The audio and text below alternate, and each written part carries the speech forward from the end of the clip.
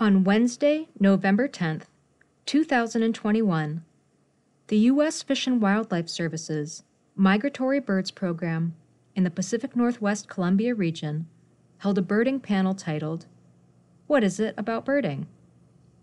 The intent of the panel was to share the joys of birding from a panel of experienced birders, as well as new birders who were just getting started.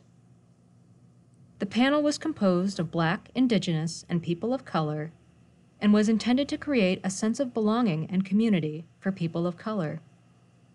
Panelists included moderator Mauricio Valadrian, Brenda Ramirez, Jazz Friels, Lily Calderon, and Sam DeJarnette. During the video, you'll notice that audience members were asked to fill out polls for trivia questions. Jazz announces the responses with the most votes, followed by the correct answer. We hope you enjoy it.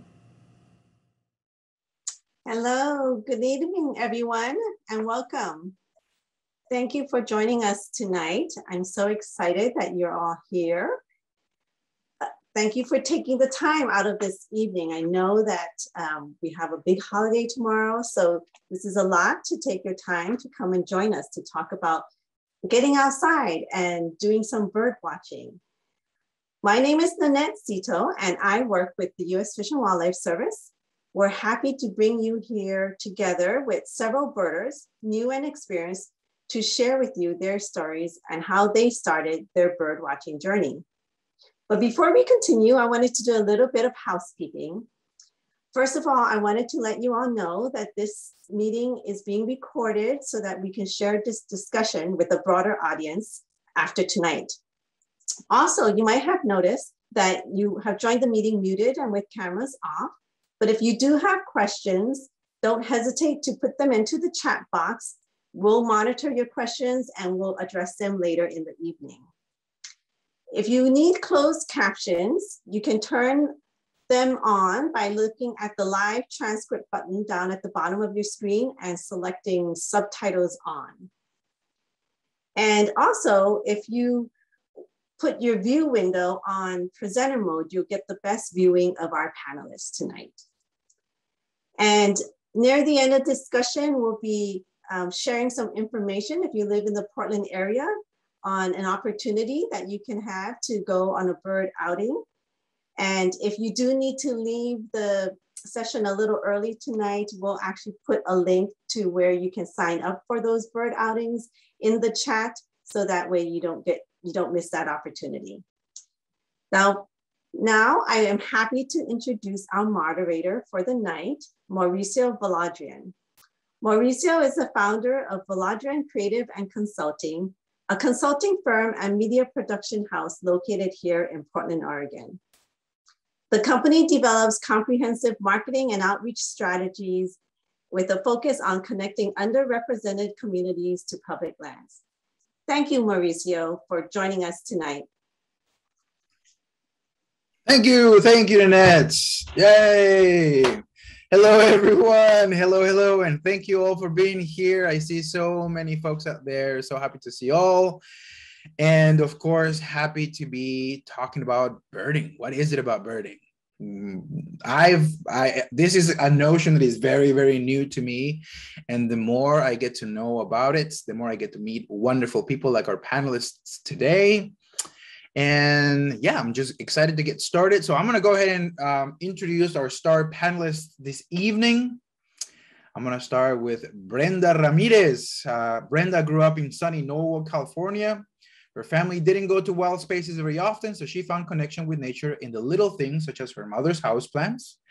While she still takes joy in all the little things, such as birds and flowers, her main interest is in how, how nature connects us all. She did not always see someone who shared her identities represented as the outdoorsy type. So she's driven to create spaces where folks from underrepresented communities can share stories, and be in community with each other and nature. Welcome, Brenda. Good to see you here. Next up, we have Lily Calderon. She fell into the world of birds after acquiring her first pair of binoculars her last semester in college. In between various field jobs and internships focused on birds, Lily decided to make avian conservation the center of her career. She earned a master's degree studying bird migration at the University of Delaware, and shortly after was hired by the U.S. Fish and Wildlife Service. In her new position, Lily focuses on avian conservation along with sharing her passion for birds with systematically excluded communities. Lily, so glad to have you. Next, we have the amazing Sam DeJournette. I just put a little French flair to it. I hope that's okay. she has been birding for three years, and after leaving the world of conservation, she started the Always Be Birding podcast, amazing podcast to uplift Black, Indigenous, and people of color birding voices and highlight the passion we, as folks of color, finding birding and conservation. She works hard towards creating a new birding community that truly reflects her motto no matter who you are or where you are, you can always be birding. Thank you for being here, Sam. Uh, and by the way, uh, these bird outings were the ones that um, Nanette was making uh, reference to. We will have links for uh, you folks to join in and of course to share with others, other folks of color that like to try out this birding thing. And last, one of the main stars of this evening, Jazz Friels. Jazz, age 12, was born in Haiti and moved to the United States when he was five. He goes to Kraxberger Middle School and will begin seventh grade this fall. Jess has been taking photos ever since his mom gave him a camera about three years ago. He especially enjoys taking photos of wildlife and his pets. His favorite thing to do when he's not exploring and taking pictures are playing sports, building things with Legos, and reading. And as a special treat today, Jazz has a little video clip that he'd like to share before we move on to this excellent uh, activity that he's got prepared for us. So Lev, if you wouldn't mind sharing that video with us, please go ahead.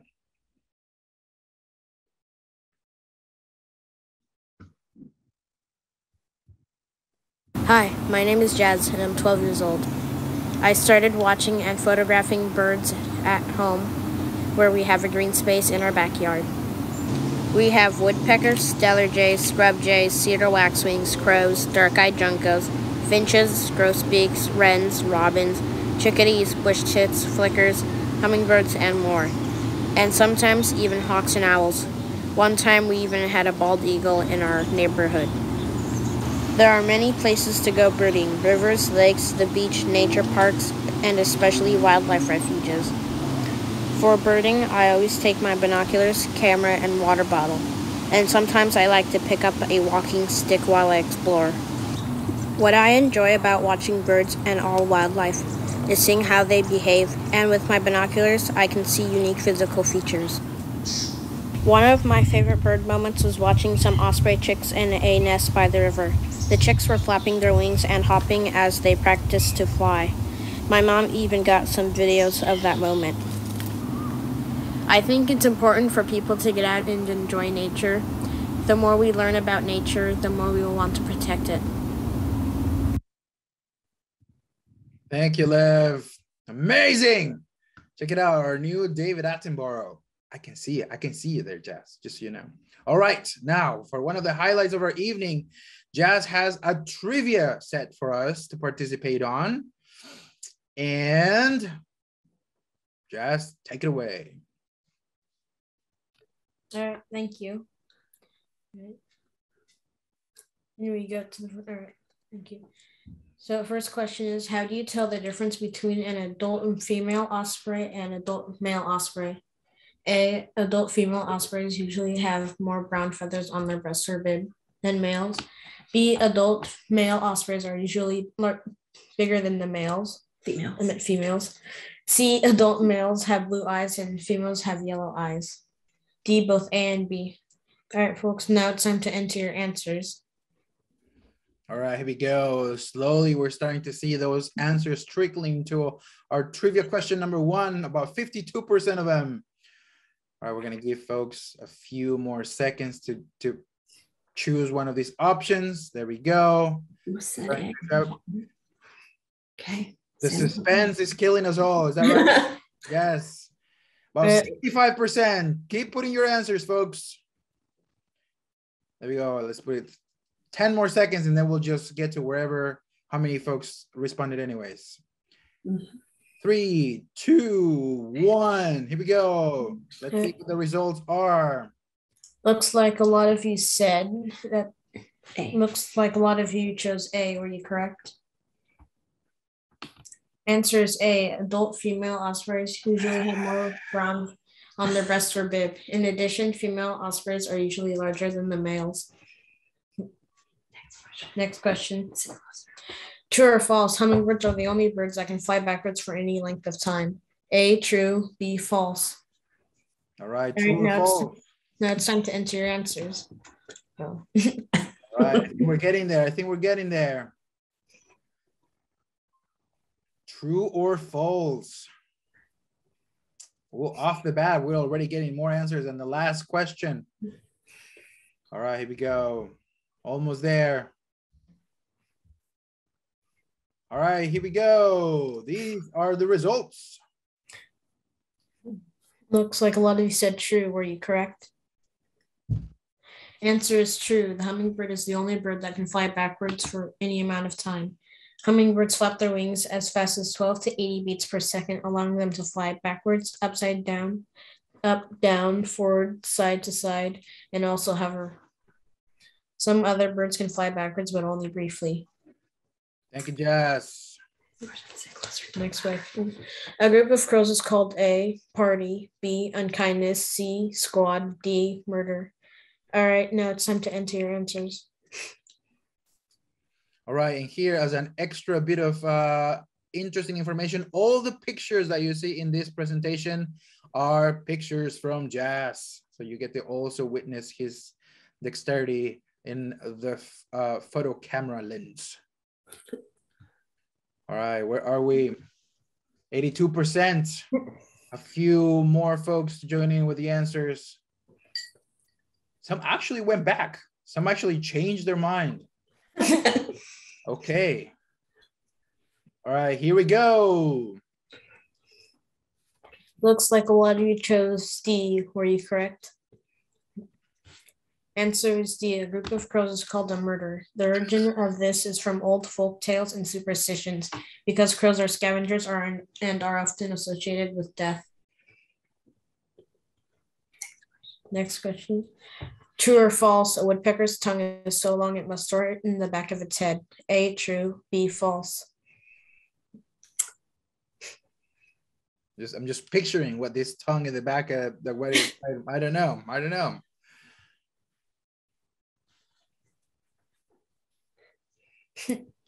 All right.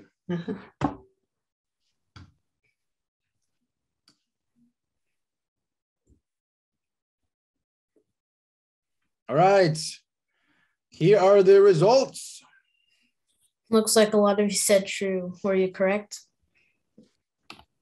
Answer is true. A woodpecker's tongue is so long it must store it in the back of its head between the skull and skin.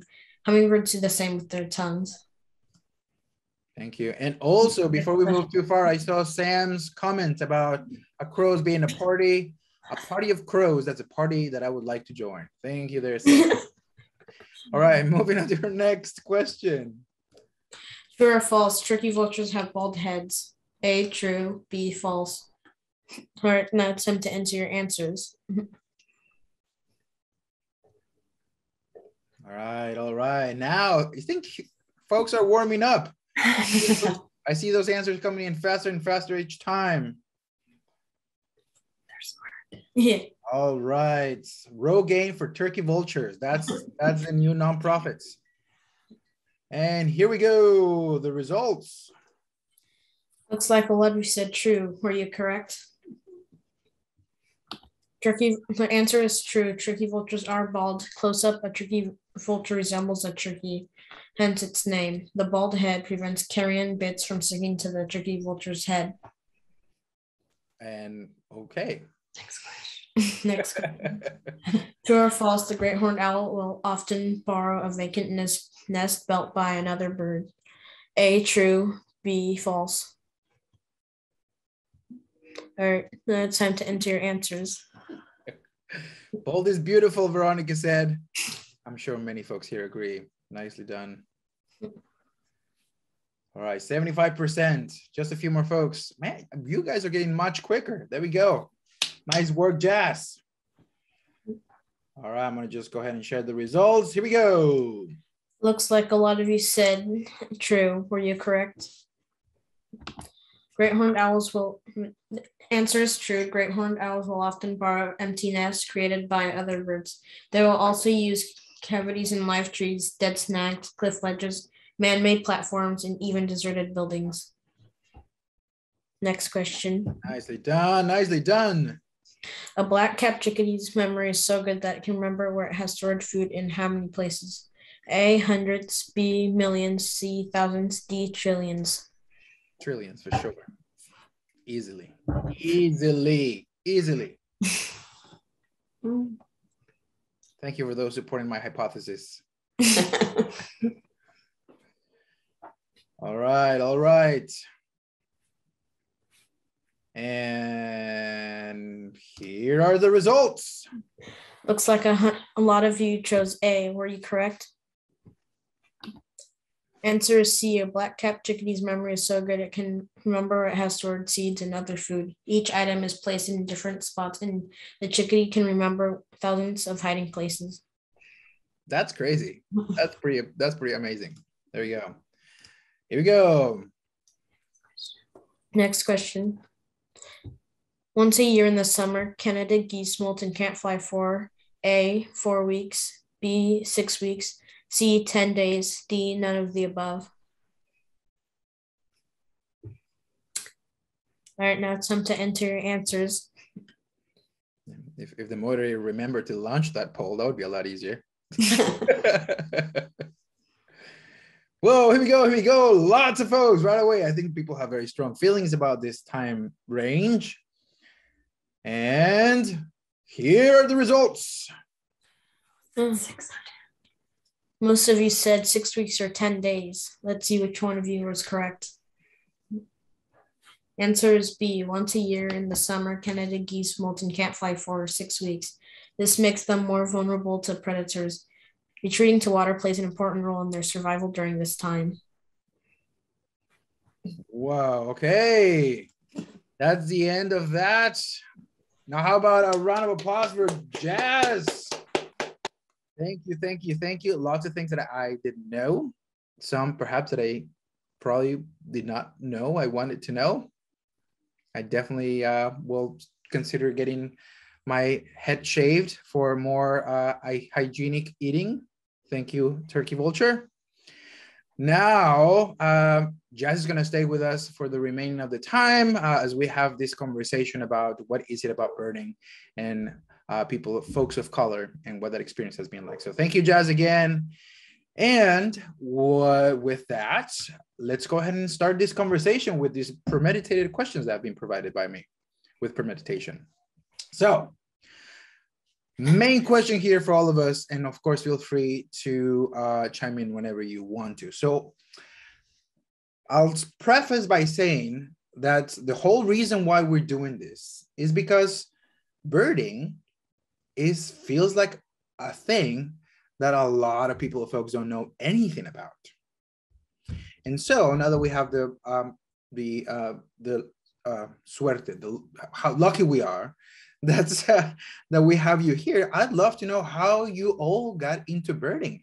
What how was that journey? Where did it begin? So whomever wants to take that on, please go ahead. Who's gonna go first? I you don't mind. point match you? Okay, Lily, go ahead. Yeah, I think it, uh, people ask me this all the time because they come to my house and I have all these bird posters. I'm like, oh, you really like birds, huh? And like, how did that happen? So I think I've always had an interest for birds. I grew up in Chicago and I have a big family, I have five brothers, so things can be hectic at home. I just remember sitting down in the back steps and looking at mourning doves and just finding some peace in them.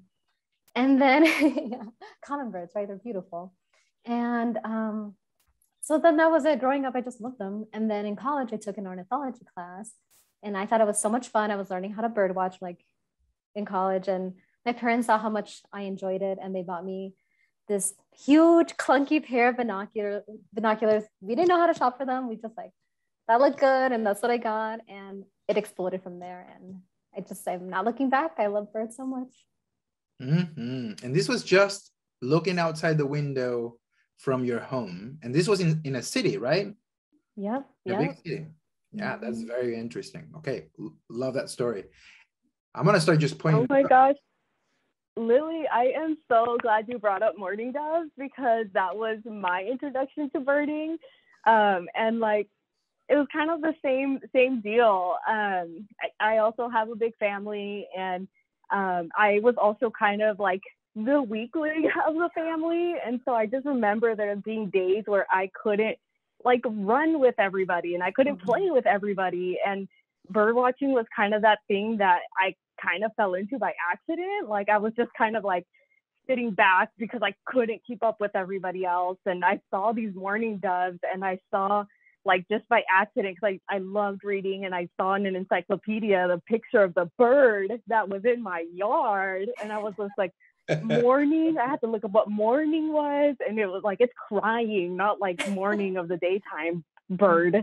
Um, and so it was just really cool, and it's it's been incredible to go from this thing that I loved as a kid to um, it really coinciding with um, seeing myself outdoors. Like it, it just went hand in hand because it was this thing that I could do while I was still learning to hike and be outdoors for long periods of time. Like it didn't matter if I couldn't keep up. Like I get to look at this bird for like 10 minutes, you know, and then keep Mhm. going, catch my breath, keep going. And um, it's it's incredible. And um, and it's been just this big source of uh, like community for me too, because that's how I met you and just um, it's just it's been such a launch into getting outdoors and finding jobs in, in the outdoors as well. So um, yeah, it's it's just a lot of fun and I'm so glad I get to do it to this day. you, you, you can't tell there's no passion behind this. It's like they say birds and all these big smiles just pop on screen right away. I see Veronica's uh, comment as well that you don't have to go very far to get in touch with nature. That is such an important thing to remember. You know, we have this well-defined idea of what being outdoorsy is supposed to look like, and unfortunately, media has not done a great job at having a lot of like representation of folks that aren't from dominant culture doing that thing. And so um, it is it is it is just so beautiful to see how this connection to nature is so inherent in all of us. And it's like all of a sudden it's like this spark goes off. And then you see like ah and i think this is the perfect way to it i saw that you sam had something to say about this because i and i know your journey has always also been pretty interesting on this. Yeah, mine was kind of uh, complicated and complex, but not really at the end of the day. Um, I didn't know anything about birds. I grew up loving animals, so like that's a wrap, right? I'm here for it. Went to school for zoology. My advisor was like, "You should do wildlife rehabilitation," and I was like, "What's that?" Sure. And lo and behold, I fell in love with birds there. But that was in Ohio, where I'm from. When I moved out here, I started working for Portland Audubon doing wildlife rehabilitation and everyone there went birding. And i was like what is what is that? Like what does that mean? People go look for birds? That seems weird. And so i went and i remember going to steigerwald and that was the first place that we went and that's my favorite place. Um and i remember seeing this like mallard male mallard just like booking it across this pond freaking out, just like, oh no, oh no, oh no. And this bald eagle was like this close behind it. And I was like, ah, I like start freaking out because I'd never seen anything like that before. Um, and then it's just ever since then, I was like, wow, this is really cool. I had a blast. Um, I enjoyed everybody that I went with, that community aspect as well. Um, and birds are just really, really awesome. And so that's how I got into birding, but I did not know that it was a thing for a while. So, Mhm. and and and and also quite frankly i also went to steigerwald lake. When i went for the first time i was just so amazed at just how many birds were in just one place.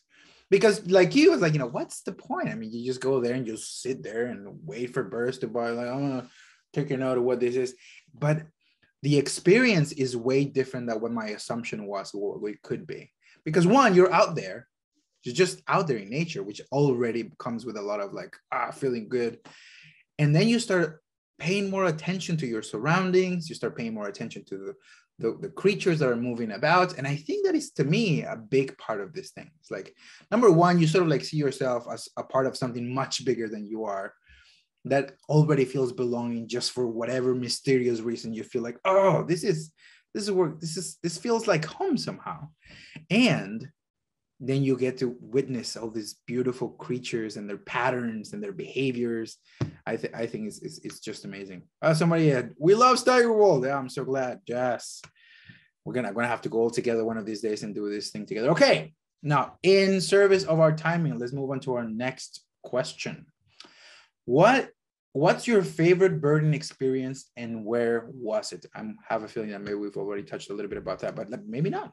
So, most favorite birding experience and where was it? Who wants to take it on?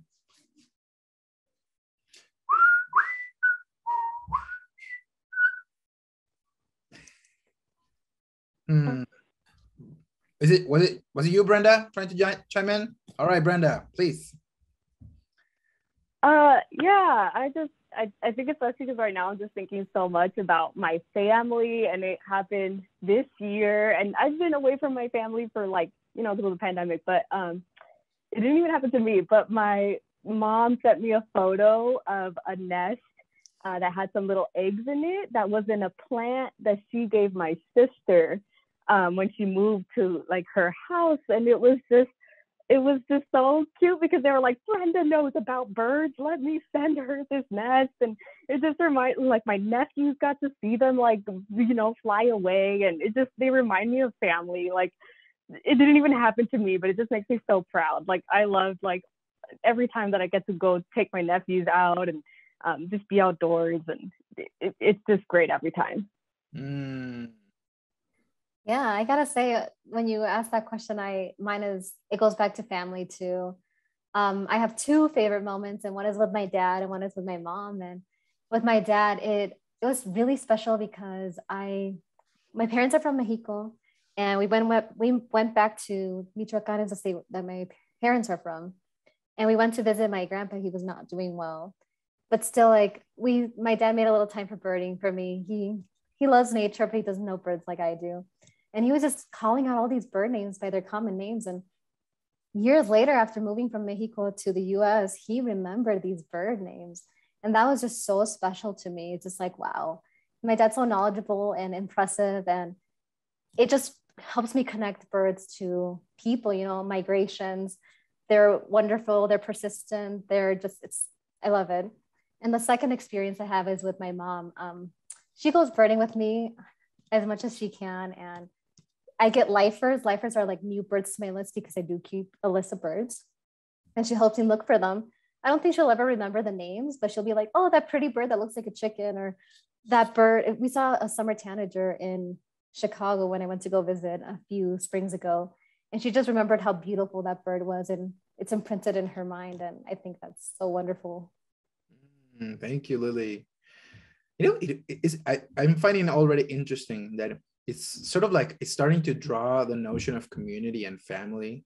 I love that, you know, for those of us who happen to be immigrants, that idea of bird migration also carries kind of a, an extra bit of um, meaning. Uh, all right, uh, Sam, would you care to share your experience? Yeah, I feel like this question is so hard because um, I I love birding so like so much that I find joy in every every time I go. Um, but I have two as well. One, one of them. So the thing about birding is that it's actually dangerous. you are constantly like looking up or like around and you're not like watching where you're going at all and then like driving and birding is don't do that but anyway i was down in malheur national wildlife refuge down in eastern oregon and i was with my birding mentor um, shout out to Tara. Um, and she, this like kills me and cracks me up all the time because we're driving down the road. She was driving, I was in passenger passenger seat. And all of a sudden she's like, holy crap, slams on the brake. I almost like bust my face on the dashboard. And like, she's like, it's a short eared owl, which is really fun. Uh, it was a lifer for me as well at the time. And it was just like sitting on this post, not not 10 feet from us and like let us take all these wonderful photos of it. And that place and that space is really magical in general. Um, and that moment was just so fun and like really bonded me and me and my friend in that moment as well. Um, my other one is like not necessarily a birding outing or anything like that, but I the the thing that I enjoy so so so much about birding and what I do with my podcast is when I talk to the people that I talk to, um, and all of the BIPOC people that I've met, and all of their stories about birding and like what they love about it and how they got into it. Um, I like couldn't think of anything else. I was like, wow, I really enjoyed that actually the most right now. You know what? I'm if it's okay with you, Sam, because you do have that podcast and you've yeah. had the, so many of these stories. Why don't you give us one of your favorite uh, stories from from your podcast? Would you mind? Absolutely. Um, so oh my, there's so many people. Um, well, I just I just did a recording. This is like the behind the scenes inside scoop because it's an episode that's not out yet. Mm, y'all are lucky. Um, but I just did a big group interview with um, a bunch of BIPOC leaders in their different communities who are are leading birding outings for BIPOC people in different states. So Chicago, um, down in California, um, New New York, no, Philly, and then Wisconsin. Anyway, so everyone was talking, and there's this moment that happened a bunch about the leaders talking about when they take out um, uh, intergenerational families birding and the the youth and how they go in and they're like super shy the first time and they're like i don't know there's a lot of adults around and i don't really know anything but they keep coming back. And one of my favorite stories uh, is from my friend um, angel and he he made me cry actually because this uh, he's telling me about this kid came back and he was super shy at first came back came back came back. And the last time he saw him his parents or his family um, bought him hiking boots, a like hiking shirt, you know, the look, the gear, and, and binoculars. And he was just so excited. And to me, that's the whole point is when you can bring that inner like that generational level as well um but with the with the young ones he was like five you know and get somebody so excited about something like that to where like you know he might not have found that if he if my friend angel didn't create that opportunity right so that was I love that story. He made me cry. Thank you, Sam. Yeah, well, and, and, and that also illuminates something that is so important about how is it that we can make these spaces more accessible to everyone you know i think one of the, the biggest dissonance that i find in, in the work that i do in trying to open spaces for underrepresented communities to connect with nature in the way that they have in a way that feels authentic to themselves um, is that a lot of folks have grown, for instance, going fishing, but a lot of folks haven't. A lot of ho- a lot of folks have gone grown up, you know, having memories of their parents going out hiking, but a whole lot of people haven't, you know. And so, uh, for some of us, this seems like second nature. Like, of course, everybody loves it, but we don't think often of how many times we need just that moment of entry just that moment of discovery that we can facilitate for some other folks, which is why it's so important what you do, Sam, and what you, Brenda, you, Lily, and what you're doing right now, Jazz, just by being here with us, is just like opening that door just a tiny bit so that others can see the beauties on the, that's on the other side. Uh, and just have that opportunity to just really fall in love with something. Um, ooh, okay, I see that you, but so let me start with Lily and then I'll move on to Sam again. Go ahead, Lily. Yeah, I think it's so interesting that you mentioned that, Mauricio, because um, I've met a lot of Latinos or Latinx folks who folk who their parents kind of fought them when they entered the world of field biology. It's like my mom even told me myself, she's like, "You're you're gonna do what your your what your dad left. Like he left the campo, like he's he left the struggle. Why would you want to join that again?" So it was hard, but I in my heart I knew I wanted to do it, and I'm like, I love it. I can make some money. I'll, I'll be fine. But yeah, it can be hard for us. Right, because to them they also have their own association with what it may be. Same. Um, yeah, so I think like um something that I I've picked apart in my brain multiple times and on an episode is this idea that like for BIPOC people, um, there's different narratives, but there's a through through thread for most of us, right? And this I for me, this idea is when we're younger, and whatever reason in our uh, perspective cultures there's something that like i call it like snuffs out our flame Um, something, someone along the way tells us we can't blank, right? When we're young, whatever that is, a person, an idea, whatever. And the amount of people that I've I've like met recently who have found what I don't know, one of my friends has coined called this the second spark, um, where you go out and birding is that for a lot of people where they go out and they rediscover how much they love being outside in whatever capacity. And then they also discover these awesome things that are outside called birds and doing these wild things that you never maybe had paid, paid attention to before. Um, and so that's why it's important to have that type of rep- representation in these communities, in these spaces for BIPOC only, um, because you know we we lose those opportunities really young sometimes and so. Yeah absolutely. And, and just to give ourselves that opportunity to have that either first spark or second spark show up it may be birds maybe something else maybe reptiles. I'm not saying that veronica might be in the audience somewhere. So hello there veronica. Uh, so i think i think that is so important um, and just to to to remember that there are some limitations that may be given by the surroundings or the context as some of those flame snuffers, as you call them, Sam. But then for every flame snuffer, I like to imagine that there's also a, a resparker, like we can be. And so I'm, I'm, I'm, I'm uh, inspired and I'm also grateful that we have these opportunities to just have these conversations. And then perhaps in our audience today, or maybe someone who watches this recording at some point, maybe that someone say, like, you know what? I'm just gonna go out there to see what's out the window. Maybe I see some of those mourning doves that Brenda and Lily keep talking about. Maybe I'll fall in love too. All right, all right. Ooh, is that is that you, Jazz, trying to get your word in? No? Okay, okay. It's okay. You can always, I know that you have a story pack there somewhere. So I'm gonna just poke for it at some point. All right, next, let's move into this third question. Dinosaurs, yes. Let's move on to this third question. Do you have tips for a non-birder on how they can get into birding? Uh, and then you can even speak of, of your own experience. So uh, tips for non-birders and how they can get started. Who would like to take that on? Ooh, yeah, okay, Jazz. Let's bring that voice in here. Hi, so um, I was just thinking like tips for a non-birder. You could like um, just start by looking out your window or just like going in your backyard.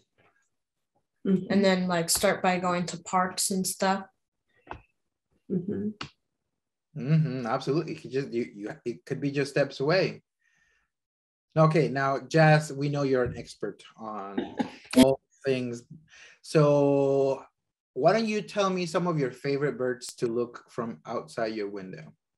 I like to look at the hummingbirds. Um, I like to look if the hawks and owls come by, then I like to look at them. And uh, sometimes when the eagles are out, but I also like to um, see the bush tits and then also the chickadees the fact that you can identify so many of those, many more than I can already, I, we, are gonna have to get some private lessons there, Jazz. Mm, what I like about the bushtits is like they all come together, and it's really funny to see how they're all uh, kind of chasing each other for the food, even though there's lots of food out. Right, right, right, right. So Although it's almost like siblings fighting for food. it comes back to families, doesn't it? Like, ooh, I Always. see that group of people. That's my family too. Mm-hmm. no, and Jazz is so right. Um, some, you know, people just see birds. Are like, oh, it's a bird. It's a bird. But if you start paying attention, you're like, oh, that's one kind of bird, and that's another kind of bird. And how many birds visit your ho- home can be so amazing. It's like, whoa, I get like ten different species here. Who would have thought? Mm-hmm. Mm-hmm. All right. Any other thoughts on tips for new birders or those who want to discover birding? Yes, Sam. Yeah, I think like um um one of my I think my biggest tip would just be to go wherever out stay inside look out your window whatever that means for you because they're everywhere and you can always be birding um and like just don't um be patient with yourself as a learner because you'll get to a point where it'll be really frustrating when you realize how many species are out there um, which is an amazing thing but like IDing it can be really hard and difficult and there's no right or wrong way to do it and you don't have to id the bird. It you know just like it just make it whatever works for you. It doesn't have to look a certain way Ooh, I love that. I love that. Not being prescriptive, just like enjoy the experience and then you can become more and find new things about it that you okay, great. Larry says find a place and sit quietly. Lots of wildlife shows up. Thank you, Larry. Definitely. Brenda, what you got? Yeah.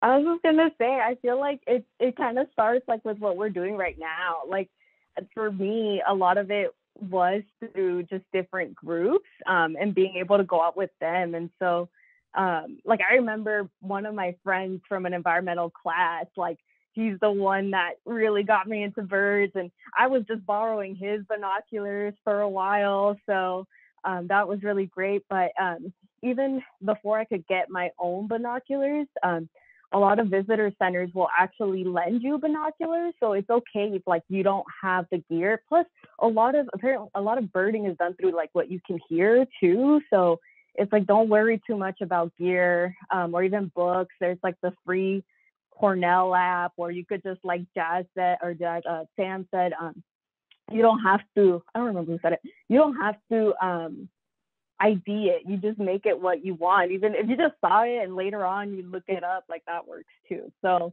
um, yeah, like going out with others and knowing that there are ways for you to kind of test out gear while you're starting out.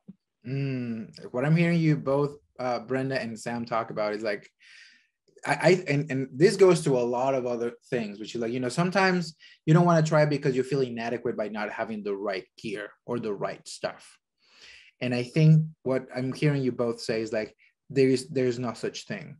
You just need to go there and figure out a way that works for you, and just whatever is enjoyable, then you're doing it right. That's amazing. Um, so, and I also saw there, Sherry. Thank you for sharing. When you Sam were talking about just finding more of these spaces and opportunities for BIPOC or people of color to go out and explore. She brings about people of color outdoors. Pamela Slaughter, what an absolutely lovely soul. Uh, a yeah. delightful human, and I actually lead bird walks with them. So, ah, yes. So definitely, if you have an opportunity, if you want to look, check her out for sure. And Lily, here you have a word. No, yeah, I was just gonna piggyback off of, of what Sam and Brenda say said. It's kind of intimidating to start bird watching, right? It's because you don't have the binoculars, maybe you don't have the field guide, um, and that's why I just emphasize watching birds in your home and local parks and starting from there. Um, I love the Merlin Bird ID app. It's completely free, and you can you don't have to go ahead. You, you don't have to buy a field guide. Eventually, if you find that you really love birds, and a field guide will take you so many different places. But start with the Merlin Bird ID app, and then just go from there. Yeah, test out those binoculars from different um, visitor centers and I cannot emphasize how cool it is that we're offering bird walks with Sam because that is one way that I learned a lot of birds. I moved a lot throughout the US because I wanted to do a lot of different bird jobs. And, you know, learning a new state and the different bird species in that state was hard. But when I was hanging out with the pros, it was, I like got it in a few months. Yes, and I feel, uh, and we have an active chat here. So please remember that we will be providing that link for those bird outings. So stick around. Um, either way, we'll make sure that you guys get those. Some additional uh, resources that have been posted in the chat. Ricardo posted a lovely quote that I'd like to read. I love this quote about birding. You can know the name of a bird in all languages of the world, but when you're finished, you'll know absolutely nothing whatever about the bird. So let's look at the bird and see what it's doing. That's what counts. I learned very early the difference between knowing the name of something and just knowing something or knowing something. That's beautiful. Excellent. Jess.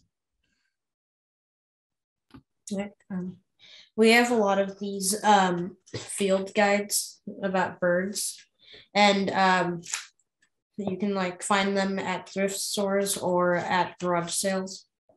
Mm-hmm. Lots of, and, and, and, and oh, go ahead, go ahead, Jazz. I don't know if you had something else.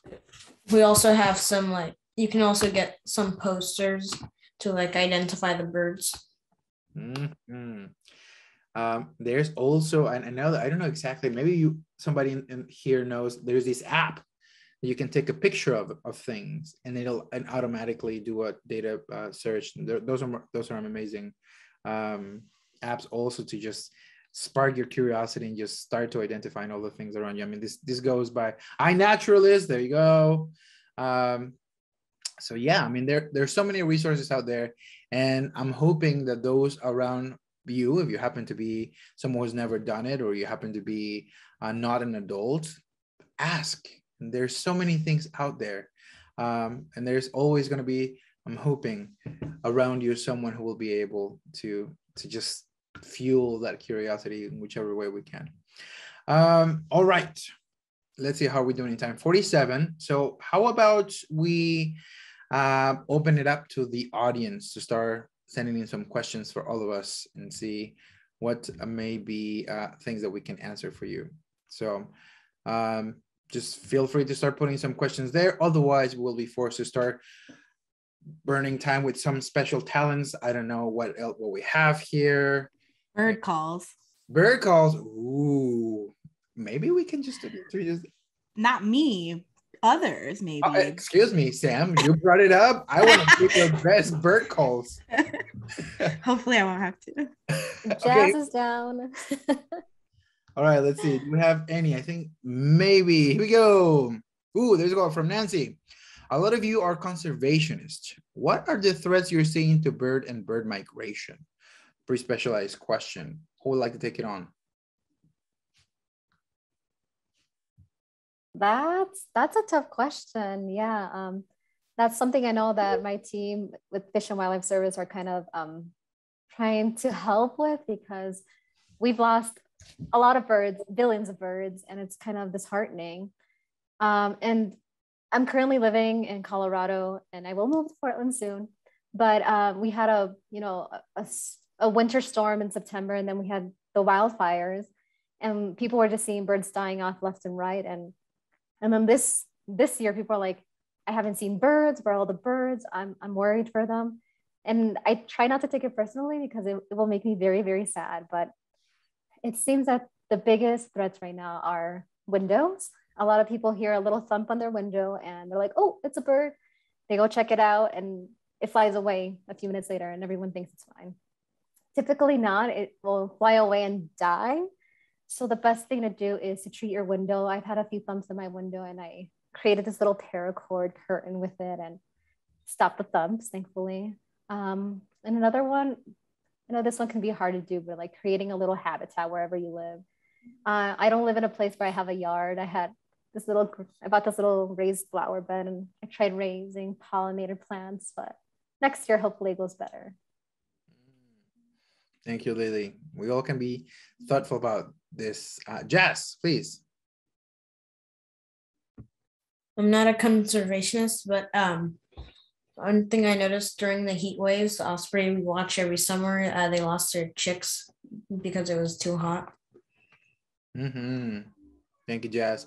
And I will say, I will challenge this idea that you're not a conservationist, um, Jazz, because the fact that you you care about watching birds, the fact that you're paying attention to what may or may not be happening to them, that already speaks of your ability to think about why they're here and why they matter in this planet, and by you know by proxy why it's important for us to take care of it. So, I'd say I'd say you're a conservationist, Jazz. I'm gonna send you a certificate. All right, we have, uh, let's see, Anjala says, uh, I visited Sicily and Italy in 2018. There were almost no birds on the seashore, no gulls, no sandpipers, not much bird, bird diversity in the city either. And I think we've seen trends that these really, really, you know, migration patterns are being disrupted by climate change. And there are lots and lots of changes happening. And so, um, yeah, birds need food, bird needs places to rest when they're traveling for long uh, periods of time. In the, those places continue to disappear, then we're creating a threat. Okay, Sam, please. Um, I think that one of the the biggest things that you can do to help combat um, a lot of these issues um, is what Lily kind of already said, which is creating habitat and where you can. And I just want to plug that Portland Audubon has a great backyard habitat certification program um, where they help you figure out what plants are um, supposed to be here and which aren't, and what helps with like wildlife um, um, flourish flourishing? I don't know whatever word i want to use there. Um, but i think that's a big one for sure. And then they also have a really great lights out program during migration because a big one besides global warming is that the city lights mimic certain like stars that are used to navigate and stuff like that. And so just not keeping your lights on all the time especially past dark so. There you go. And again just to to to, re, reiterate you know just because we are not some big organization doesn't mean that we cannot have an impact on how these creatures can survive and that we can help um, you know in so many ways. Brenda says who's also here says i think there's one of the beauties of birding is that it, it's it is nice and fun but at the end of the day we also must to want to protect them and the environment as well we're all connected that is a Hallmark postcard if I ever saw one. So um, TM. Thank you, Brenda. And one more love for. Yes, I heard someone come in. Brenda. Yeah, I think that that's one of the nice things too is that there are things that you can do even if you don't have a yard and things like that. Like I know I've learned um, just so much from other people that I'm friends with on social media that also love birds. And like I remember, I think Lily, you shared uh, like not putting up the fake spider webbing for Halloween, just like little things that you learn and um, like with birding, you're just learning little by little, and all of these actions they add up. And um, yeah. Ooh, hold on. So the little web uh, for Halloween. So did, did just birds get trapped in there? Is that yeah. what happens? Ooh, mm-hmm. didn't know that. Uh, also, once again, there's a number of really useful resources that are being placed in the chat. Uh, from apps, I said that you put uh, the Seek app, Brenda. I know there was also some resources on what happens with windows and birds, Audubon habitat certifications, um, and a guide to wildlife uh, in friendly yards, um, and a few others. So I, I think probably would be worth for us to just compile all of this. And so as when we make the recording available, we can also have those ready, including of course, uh, Sam's podcast and website and ways in which they can join. All right, 7.54 on this date. Um, not that it matters when it's recorded, but so you know, when you are watching this, it was 7.54 when I said that. Um, all right. Do we have any other questions from the audience? Any other commentary that our lovely uh, panelists would like to share? Oh, wait, wait, wait. Yes. Question. yes. What is what is the question? Uh, ooh, ooh, I love that question. Is there a lesson you've learned from birds? That's a that's a very good one. Yeah, again, I've learned two big lessons from birds. Um, they've helped me out a lot, which is kind of funny to say, right? But I mean it. One was they helped me connect to my roots. I remember one time I strayed away. I didn't like being Latina. I was like, no, I don't like the struggle. But then I don't know. I was really excited when my dad was teaching me about birds in Mexico. So I slowly began to embrace. And also, it brings me so much peace. I have to go on a bird walk every morning, or else I notice that my my mental health kind of degrades. So um, yeah, when I just go out in the morning and look for birds, it's just I'm so at peace and I love it, and it's something I wish to share with as many people as possible. Mm, that's beautiful. Thank you, Lily. Jazz. Wanted to share one of the reasons why I like to go birding. Mm-hmm. Um, so I just like to go birding to see all the animals and birds around, and um, also helps me escape you know, like the stressful things in life. Mm-hmm. then um sure and being in nature uh helps me get by get through things and then also I heard this story about um that if you're like kind of like near a tree or hug or like if you have a favorite tree and you're near that tree, uh, it can make you happier. Like if you're near that tree at least uh, once a week or once a day. Mm-hmm. Did you talk about hugging the tree? Uh, he, uh, you can hug the tree if you want, but if you just like don't like to, uh, like if you aren't comfortable with hugging a tree in public, then you can just uh, can just like read next to the tree. There you go. A picnic. And, and you know, ask the tree whether or not it feels like snuggling or not. You know, see how that goes. All right. Thank you, Jazz. That's amazing. Sam. Um, yeah, I've learned a lot of stuff from birds. And one of my favorite things to do is to um, essentially like use nature and birds in particular to talk about or point out um, how racism shows up in our world. Um, and you wouldn't think that you could tie all, a lot of that back to the the birds, but you can, and it's actually really really interesting. Um, and I I just I just love that. So I've learned a lot of lessons in that way for sure. Mm-hmm. I think there's something about one of the similar to what you were saying, Sam. If there's uh, anything that nature nature just shows us every day is just how important it is to have a variety of everything. Just how much beautiful everything is when you have as many colors, as many features, as many differences in ways of being unique in this world. Everything is so much better. So I think about that a lot when I think about the work of trying to bring everyone to experience all these other things, because that's it. The more, the more diverse, the more, the more things there are, the better we all are, the happier we can all be. All right, uh, Brenda. Yeah, I will. I really love that, and I.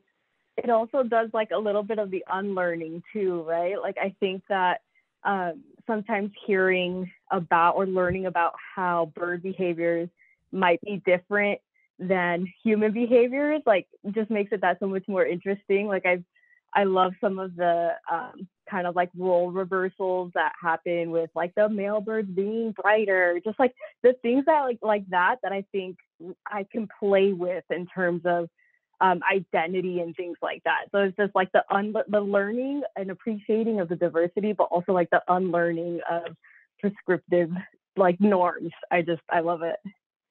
Absolutely, absolutely.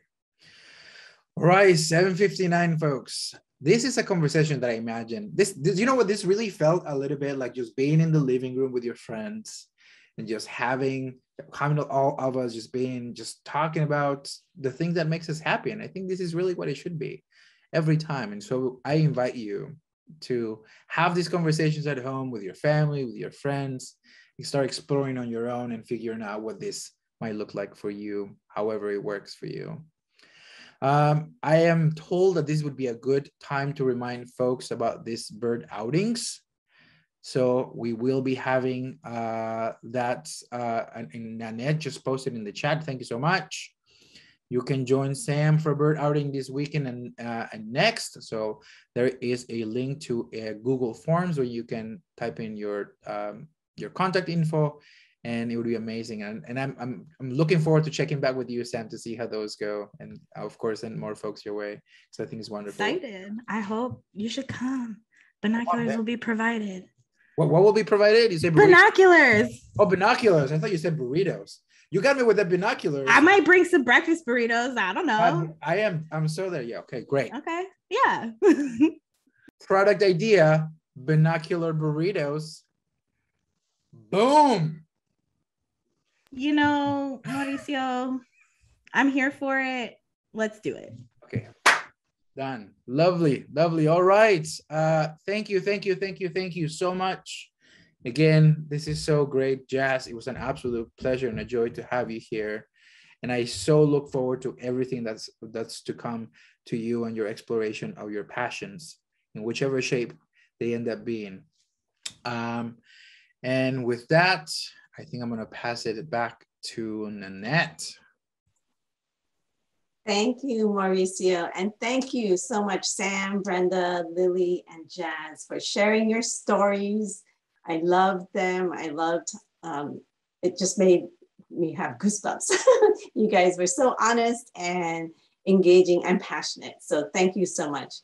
And thanks to the audience. I'm so glad to see you all join us and participate. And it was a great um, conversation also also on the side in the in the chat. So I'm happy that you all enjoyed it. And I'm gonna share my screen just to give you a little bit more information about the bird outings to make sure that you all can see that better or in you know in case you need to um hang on let me make sure you see that um so Sam it has been great to offer this coming Saturday, November 13th, as well as the following Saturday, November 20th. Um, it'll be bird outings, the first one at Whitaker Ponds from 9 to 11, and the second one at Tualatin River National Wildlife Refuge, also 9 to 11. So the link is in the chat, but it's also here in case you don't click on it right away, jot that down. Um, or if you um, don't get it, jot down our email down below, FW1 migbirds, that's M-I-G-B-I-R-D-S at fws.gov. So you can send us an email if you have questions or weren't able to click on the link successfully and you really wanna um, do the bird outings the space is limited because Sam really wants everyone who shows up to have a, a really good engaged opportunity. So sign up quickly, don't, don't hesitate. And um, binoculars will be provided. So don't worry about um, having the right gear, just, just come with rain gear because you, you live in the Northwest, you know what it's like, right? so um, again, sign up um, through Google Forms and ask us if you uh, send an email if you have questions. Someone mentioned the recording, and yes, we are doing a recording. If you didn't register by email, um, email us down below and we'll be sure to send you the link once we have it all, all finalized. So thank you again, everyone, and um, please enjoy the rest of your evening. Bye bye. Great. Thank you.